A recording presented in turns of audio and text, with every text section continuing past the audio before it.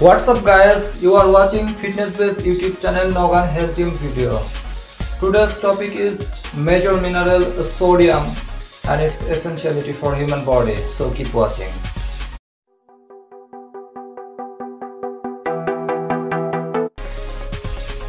আমাদের শরীরে যে মিনারেলগুলো প্রয়োজন তার মাঝে সোডিয়াম হচ্ছিল একটা মিনারেল এবং এটা হচ্ছিল আপনার হলো মেজর মিনারেল অর্থাৎ যে চব্বিশটা মিনারেল পূর্বের ভিডিওতে কিন্তু আলোচনা করেছিলাম যে এসেনশিয়াল সব মিনারেলগুলো অর্থাৎ যে মিনারেলগুলো আমাদের শরীরে প্রয়োজন, তার মধ্যে হচ্ছিল সোডিয়াম হচ্ছিল একটি মেজর মিনারেল যা আমাদের শরীরের জন্য খুবই প্রয়োজন।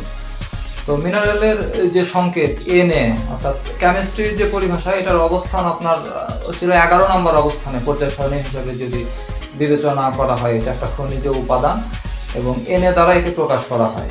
তো এখন এই যে মিনারেল সোডিয়াম এটা আমরা কোন কোন সোর্স থেকে পেয়ে থাকি আমরা? এক কথায় সোডিয়াম হচ্ছিল এক ধরনের কি? খাবার, একটা লবণ সল্ট সোডিয়াম ক্লোরাইড থেকে পেয়ে যায়, পেয়ে থাকি বিভিন্ন সোর্স আপনার ডিম থেকে পাই, আপনার বিভিন্ন ধরনের গ্রিন ভেজিটেবল যেগুলো থেকে আমরা এই মিনারেলটা আমাদের শরীরে পেয়ে থাকি। তো এই সোডিয়াম আমাদের শরীরের জন্য সবচাইতে যে গুরুত্বপূর্ণ কাজ আমাদের যে মাসল কন্ট্রাকশন অর্থাৎ মাসল কন্ট্রাকশনের যে মেন কাজ সেটা কিন্তু সোডিয়াম দ্বারাই কিন্তু হয়ে থাকে। অর্থাৎ আমাদের শরীরে যে পেশি সংকোচন, প্রসারণ যে মোবিলিটি এটা কিন্তু সোডিয়াম এই মিনারেলটাই কিন্তু করে থাকে। তো এই সোডিয়ামের যে সোর্স আমাদের শরীরের জন্য প্রতিদিনের যে রিকোয়ারমেন্ট প্রয়োজন সেটা কি পরিমাণে আমাদের শরীরে প্রয়োজন? সেটা হচ্ছিল আমাদের শরীরে প্রতি দিনের যে রিকোয়ারমেন্ট সেটা হচ্ছিল আড়াই গ্রাম। অর্থাৎ আড়াই গ্রাম অথবা আড়াই হাজার মিলিগ্রাম সোডিয়াম আমাদের শরীরে প্রতিদিনের রিকোয়ারমেন্ট তো আমরা ন্যাচারালি যে খাবার থেকে যে প্রতিদিন যে সোডিয়াম পেয়ে থাকি, আমরা মনে হয় যে আড়াই গ্রামেরও কিন্তু বেশি খেয়ে ফেলি অনেকে। বা এটা যে না বোঝার, অর্থাৎ আমরা যে খাবারগুলো খাচ্ছি ন্যাচারাল যে সোর্সগুলো এগ গ্রিন ভেজিটেবল এখান থেকে যে সোডিয়াম পাই, এটাই পরিমাপ করলে দেখা যায় যে আড়াই গ্রামের উপর হয়ে যায়।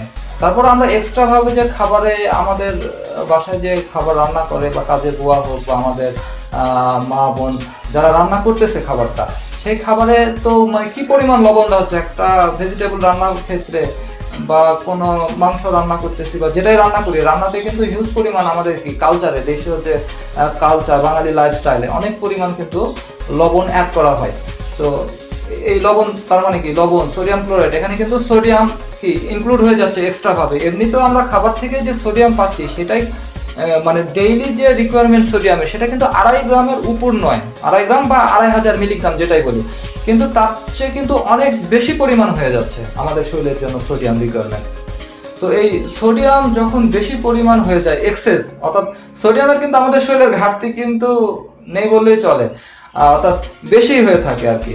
তো সোডিয়াম বেশি হলে মেইনলি কি হয় যে ব্লোয়েটিং অর্থাৎ আমাদের শরীরের যে বমি বমি ভাব বা এক্সেস হলে হাই ব্লাড প্রেশার এটার কিন্তু ওয়ান অফ দ্য মানে মানে রিজন বড় রিজন হচ্ছিল কিন্তু সোডিয়াম মানে খাবারে লবণ অ্যাড করা। এক্সট্রাভাবে আমরা আবার তো মানে আমাদের তো রান্নার প্রসেসে তো সোডিয়াম অ্যাড করতেছি যে লবণটা, এবং পরে কিন্তু এক্সট্রাভাবে অনেকের আমা- আমাদের অভ্যাস আছে যে খাবার সাথে কি লবণ খাওয়া, এটা কিন্তু একটা খুব ব্যাড কালচার তো আমাদের মানে খাবারে ন্যাচারালি আপনি লবণ, রান্নাতে যে লবণ ব্যবহার করা হয় সেটা কমিয়ে দেওয়া উচিত। অর্থাৎ, এবং এক্সট্রা ভাবে যে খাবার লবণ সেটা একদমই পরিহার করা উচিত।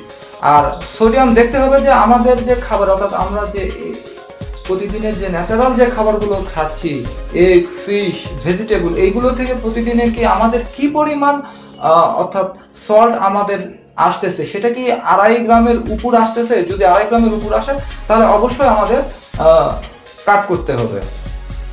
আর এই সোডিয়ামের কারণেই কিন্তু মানে যে মূল যেটা প্রবলেম হয়, অর্থাৎ যারা হচ্ছিল ওয়েট গেইন থেকে ওয়েট লস করবে, এটা আপনাদের জানা উচিত যে সোডিয়াম, অর্থাৎ আমাদের শরীরের যে ফ্যাট ফ্যাটটা কিন্তু তিনটা স্তরে থাকে। সাবকিটেনাস ফ্যাট ভিসারাল ইন্ট্রামাসকুলার তিনটা স্তরে কিন্তু আমাদের হিউম্যান বডিতে ফ্যাট থাকে। তো এই সোডিয়ামের কাজ কি শরীরে ওয়াটার হোল্ড করে রাখা, অর্থাৎ আমাদের সাবকিটেনাস অর্থাৎ আমাদের স্কিনের নিচে যে স্তরটা আছে, সেখানে কিন্তু সোডিয়াম অর্থাৎ সোডিয়ামের ধর্ম কি? পানি, আমাদের শরীরে কি ওয়াটার রিটেনশন অর্থাৎ হোল্ড করে রাখা।